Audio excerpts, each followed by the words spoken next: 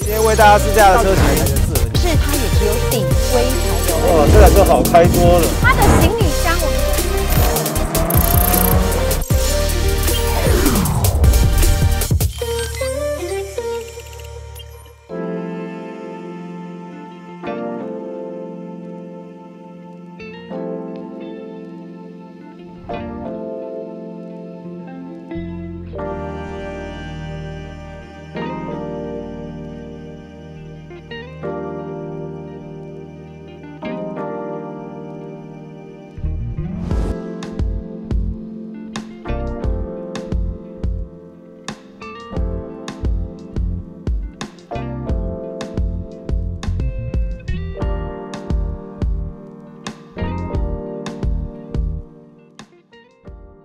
今天为大家试驾的车款，我相信很多人期待很久的，就是 Honda Odyssey。它这次做了改款呢，当然很多人在敲碗啊，他说怎么没有油电？哦，我曾经讲过很多次了，消费者是决定一切的，媒体没办法决定一切。当今天如果一台车的诞生，一台车的改款上市，结果没有人买，原厂会不会改？一定改。可相反的，没有换引擎还是卖翻了，原厂会不会改？当然不会改啊！能够维持现状的话是最好的。你多一个引擎规格，要多一个库存的负担啊。那以今天我们试驾车型来说，它是目前缺车最严重，也是百分之八十以上的 Odyssey 的消费者买的等级，就是七座的登峰版，它的售价一七九点九万。另外还有一个八座登峰版。少两万，一七七点九，以及入门的几乎没有人买的，一六二点九万的卓越版七人座，所以七人座两个版本，八人座一个版本。我问了原厂啊，为什么大家都买七人座？有一个很重要的关键就是它的座椅变化。如果你买八座，就少了这个座椅变化的功能。会买 MPV 的车型要的就是这个，要么你去买 SUV 就好了。MPV 的优势就是它的座椅变化的丰富程度，以及它的空间的表现，加上这次在内装质感的提升。但是目前缺车情况还是很严重。你如果今天去展示间订车，最快交车要到六月，慢则要七月才有办法交车。顺便跟大家讲一下，就是台本目前其他的讯息啊，CRV 也要等，要等一个月。大家比较关心的 Fit 应该会在 Q 三或是 Q 四的前面会在台湾上市。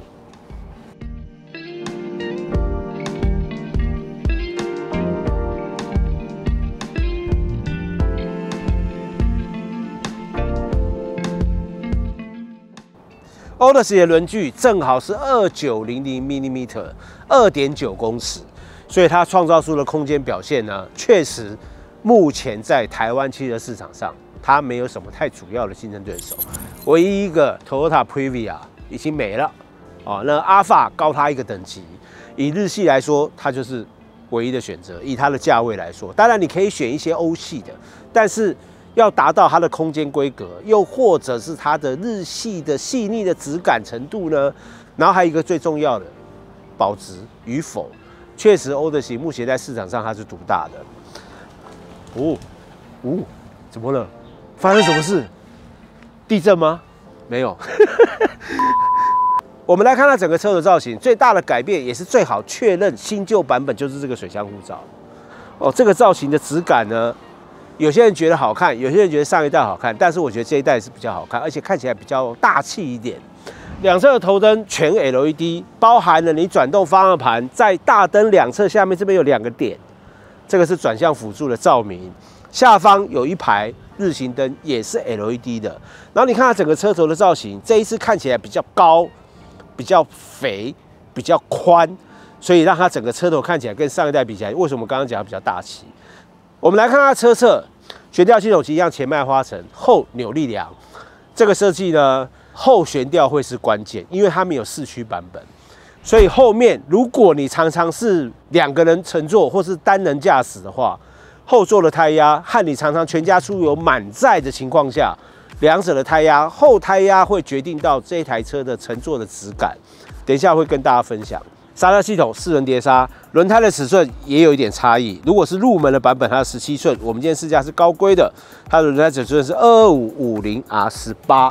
然后在后视镜上整合 LED 方向灯，还有就是我比较喜欢就是它这个三角窗的面积，这个是很多不管是 SUV，尤其是 MPV 这个三角窗的面积，加上你的坐姿比较高，以及比较大面积的前挡风玻璃，让你在开车的视野上表现会比较好。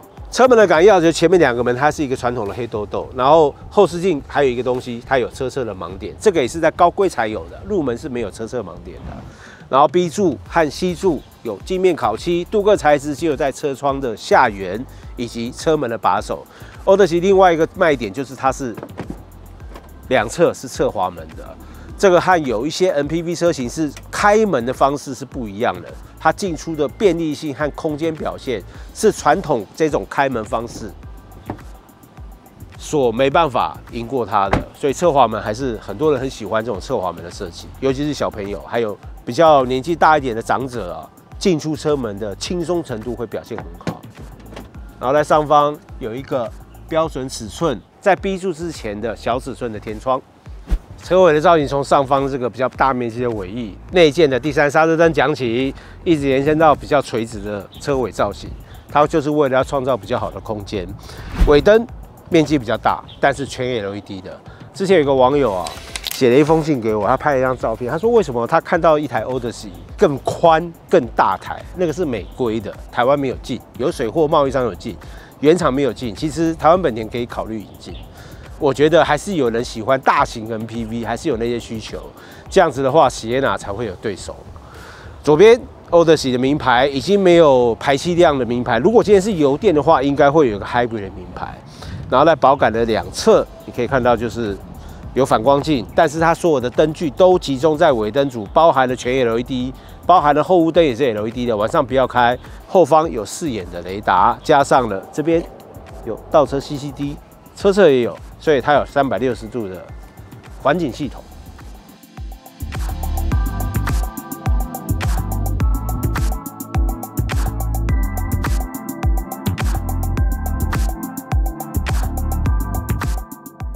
我们来看看动力心脏，一样没有油压顶杆，传统的顶杆，但是有隔热棉。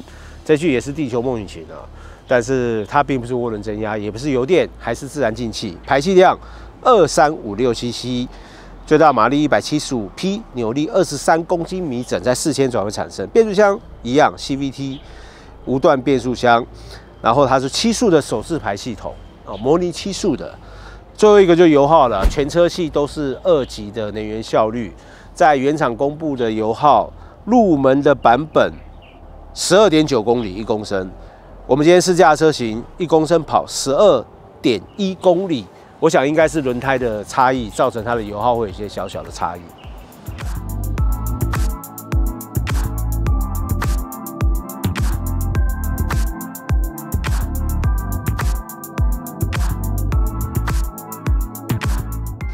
我们现在介绍它的尾箱，它有脚踢感应，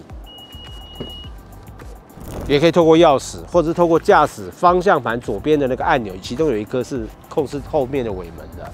它一样可以做高度的设定啊！这边告诉你，你只要 hold 住就可以设定它的高度。哔哔两声就表示有了。我觉得刚刚那个油耗啊，可能跟电动滑门的重量也有关系，所以入门的会比较省油一点。打开之后就它的重点了。为什么我问了几个业代，他说所有的人都买七座的原因就是，你如果买八座的话。你就少了这些便利的设定，然后第二排它还可以做类似商，虽然它是手动的，但是可以做类似那种商务舱的那种座椅设定啊，这也是欧德系的一大卖点。因为日系的 MPV 车型很在意第二排这两个独立座椅，相反的，欧系的中型或大型 MPV 啊，它就不太在意这个部分。这也是为什么不管是在台湾、在大陆，甚至香港、日本当地啊。他们都很喜欢买这种日系 MPV，它很方便、很便利，然后呢，驾驶者的整个开车感受又很轻松，因为你前挡风玻璃面积大嘛。然后最后一个最重要就是它的座椅的变化完胜所有的欧系的品牌，不管是收折的费力或是时间，又或者是整个设定上的方便性，日系 MPV 在这个部分呢，确实做得很好。好，再来就是重点了啊，电动侧滑门，顶级才有哦。这边是电动，是顶级才有的。进出车门的空间表现非常好。虽然第二排座椅都是手动的哦，哦，你看坐进车内，我们先把扶手收起来哈。到最前面是这样子，没有人会这样做嘛，对不对？我们往后滑，滑到一个紧绷是这样子，正常是这样子啦。但是它很妙哦，它还有一个左右滑的，往车辆中心点滑，目的是让你可以到更后面，可以到这里来。如果你后面椅子还是正常位置的情况下，可以到这么多。这边这样已经可以翘脚了。对啊，这个空间是无限大。好，那我们现在设定到这样子就好。好，现在是这样子，膝部空间两个拳头又两个指头，这个其实就已经够了。然后这边有一区的恒温空调，总共有八个出风口，都在灯的旁边哦，所以你可以自由的去调整。我们现在这个设定好，对不对？我们去第三排示范给大家看，这个座椅的收纳啊，你就照它这个图的步骤走就好了。先把椅背三个四二四椅背找平，很简单啊，很轻松，你看非常轻松。然后这边有一个拉杆，你要拉了这个拉杆，然后这样子。就回来了，可回来之后它没办法归位，对不对？有一个红色的，它告诉你要把它勾住，让它锁住，这样就好了。然后我们再回到第二排，你如果椅子没有往中间靠拢的话，它会被轮毂影响。所以呢，原厂很贴心做了一个这个设计，向中间靠拢之后，再拉了这个把手，你看移到哪里？哇然后还有一个小腿肚的腰靠，这就是欧德喜。为什么大家都买七座，不买？你八座的话，第二排座椅就没有这样的功能，没有这样的功能，你就丧失了买欧德喜的理由了。这个设计真的非常好，难怪它会卖得好。第二排 B 柱之后的座椅设定，它确实是现在目前是没有竞争对手的。好，我们现在去示范第三排。你看这个把手真的太重要了，我是不需要，小朋友就要，或老人家，你在上来的时候，如果这个当助力的话，你进出车门就会比较安心一点，而且比较稳一点。如果他下车这边可以再一个，可以让我拉一下的话会更好。但是椅背可以了，拉椅背就好了。但是如果这边可以再一个会更好。然后第三排。我们来看它的空间哈，我现在第二排是设定到后面最大，然后第三排还有三个三个三到四个指头，但是它的椅垫呢，你看它这个椅垫还蛮厚的，不会像有些车啊，它第三排做的很薄。你看我的大腿这边不像有的是这样子，它是这样，还有一点点支撑。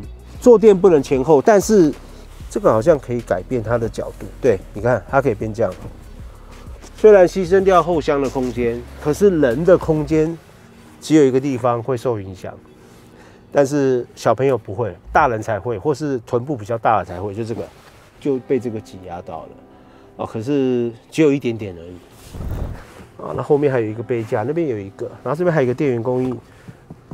那如果说我现在前面坐的不是大哥或是很高的人的话，你其实可以把椅背。和椅垫稍微往前，这样你第二排的空间就会更棒了。来试一拍一下，小杨，你先不要拍了，你坐上去示范一下。好，你现在前面几个拳头啊？无限大嘛，你把它弄到一个半就好了，牺牲一点，好吧？一个半，这样，这样可以哦。你看，你看我第三排，哦。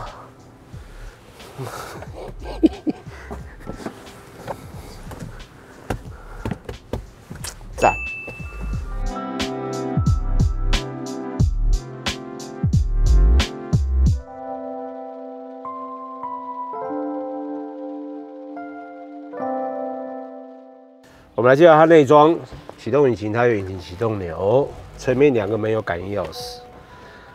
你会看到这个数位仪表哦，它是一半是液晶显示，另外一半是传动指针，但是还是自发光了。这个亮不代表你开了大灯，所以要记得，因为它还是有 off，哎，没有 off 了，太好了，拨到 off 会弹回来，所以变得是强制开大灯或是用 auto。如果你觉得麻烦，记得就永远把它拨到 auto。你去给他趴车或给他洗车的时候，或者去保养的时候，很多技师会帮你改变这个大灯的设定哦。你记得要把它改回来。我相信很多人晚上不开大灯，都是因为被人家改了设定，并不是因为它。哦，所以要记得上车之前、发动引擎之后、要开出去之前，大灯要先检查清楚。一个月一次的，请朋友或家人站在车头或车尾，帮你看看所有的灯具是不是正常，大灯是不是一个边烧坏了变独眼龙，或是尾灯完全没了都不知道。一个月做一次这个检查就可以了。而呢，循迹系统当然也是标配。然后另外还有一个部分，我先花一点时间跟大家讲一下，就是为什么大家都要买顶级的，它的差异到底有哪些啊？我们从第一页主动安全讲起。如果是在入门的话，七座、八座顶级都有了。入门的七座少了盲点侦测，少了倒车预警辅助系统，就是你打倒档的时候，如果两侧有车辆、有行人要过的时候，它这个仪表板会显示一些警示。入门就没有了。再来一个就是驻车雷达、副影像指示、前后停车雷达各四颗，总共八颗也没有啊。这是第一页。第二页，LED 主动转向是辅助灯也没有，就是我们刚刚讲的，你转方向盘的时候，前面有个辅助灯会亮。电动天窗没有，驾驶座滑门没有，就是我后面这个滑门它是手动的。副驾驶标配都是电动滑门，双前座侧。泼水玻璃这个，它是有泼水功能的。好，我们来看第三页，导航系统这个，它的图纸是 Garmin 的。如果是入门的话就没有导航，但是一样都有 Apple CarPlay。恒温空调系统，这一个面板在前座都是一样的，只差在后面还有一个单区的恒温空调。如果入门的话是没有的。尊龙全舒展式舒压座椅哦，这个只有在七座有，因为八座的话后面两个不是独立的，你只有买到七座才有这个舒压座椅。中央滑盖式置物箱，这个这个只有在七座才有，连八座都没有了。后座侧窗遮阳帘也是一样，入门的是没有的。上锁后自动收折后视镜，One Touch 电动窗，附防夹功能。如果是入门的话，只有驾驶座有防夹功能。我们今天会送我娃娃，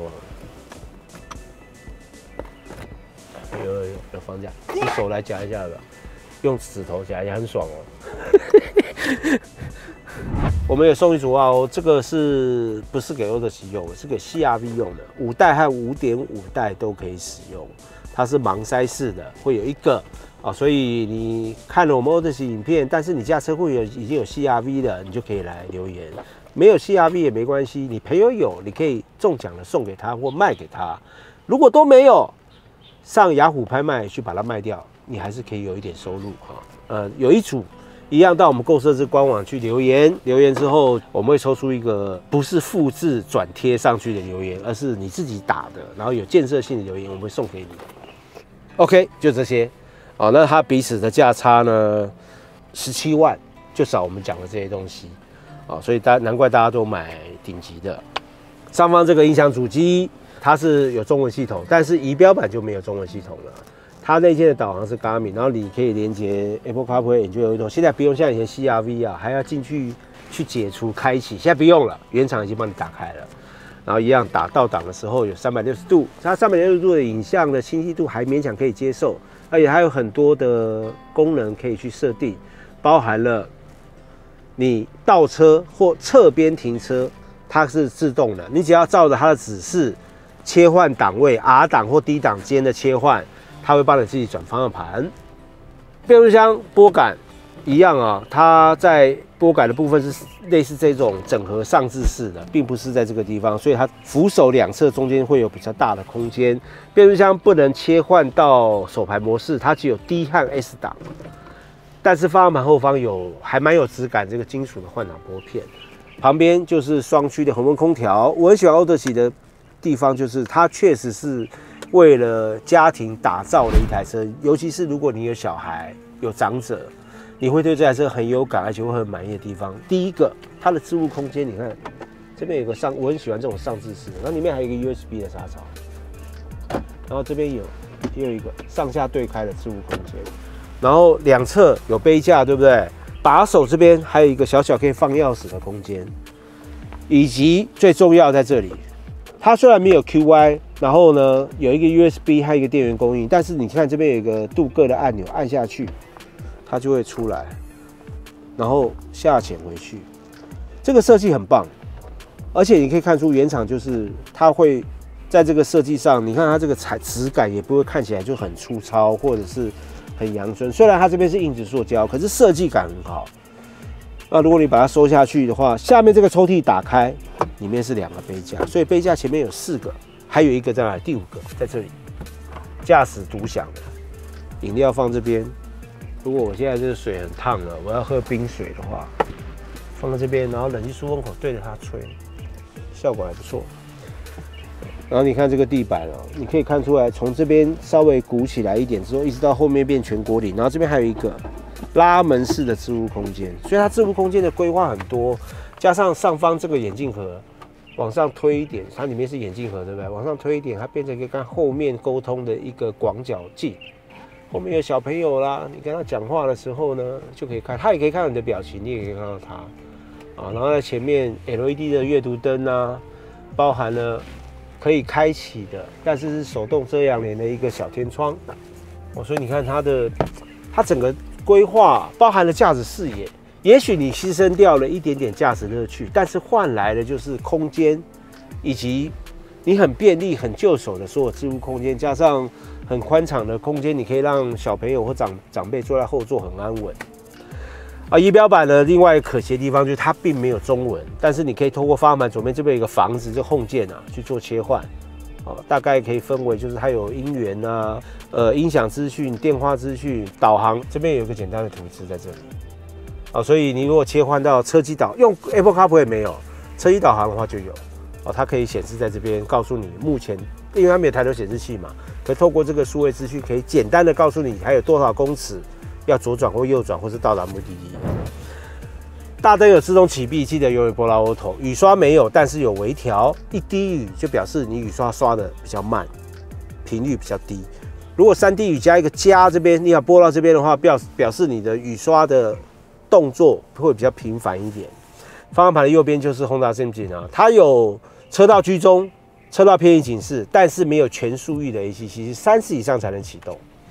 方向盘左边还有一些按钮，节能开关，以及下方左右两侧电动滑门，然后前方碰撞的警示可以关闭，车道偏移警示也可以关闭。然后在下面有停车熄火的开关、停车雷达、循迹系统，还有后方电动尾门的开关。所以这边的完全没有盲塞可以塞，也没有任何一个空白键，全部都满了。唯二的空白键反而是在方向盘右边，这边有两个。这个在在其他地方不知道是什么按键。座椅有电动椅，副驾没有，没有记忆装置。但是哦，我们现在就来调到我们的坐姿。然后你看它这个三角窗面积很广。好，方向盘的调整是四向手动的。上下的调整的幅度比较小，但是够了。